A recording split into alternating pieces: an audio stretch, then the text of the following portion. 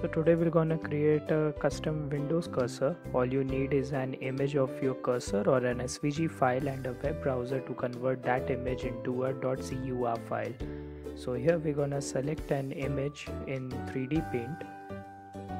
Um, you can take any image which has a pointy end. I'm gonna take uh, a hand showing a finger and uh, here select an image in 3D paint, click on magic select and crop and straighten the image.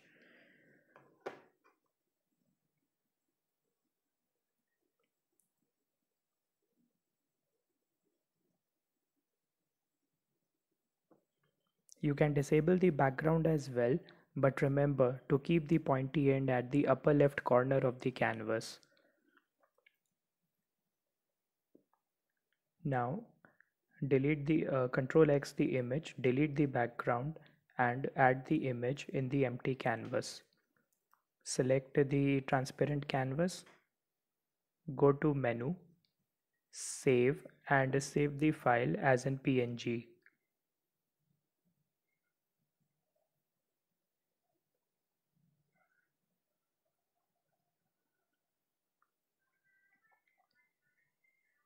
Now go to your web browser and go to convertio.co. I've given the link in the by uh, in the description and uh, here you can upload the .png that you just created.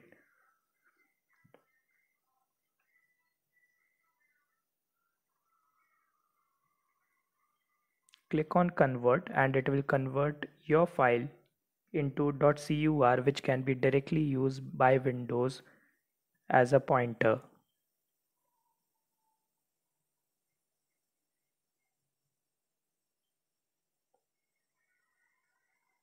Download the file and it will go to your default downloads folder. Now all you need to do is go to control panel select the mouse go to the pointer tab and browse for the file in your downloads folder.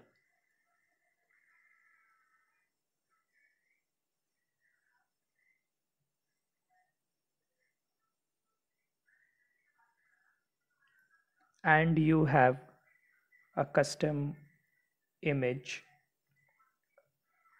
a custom cursor that was created by your image thank you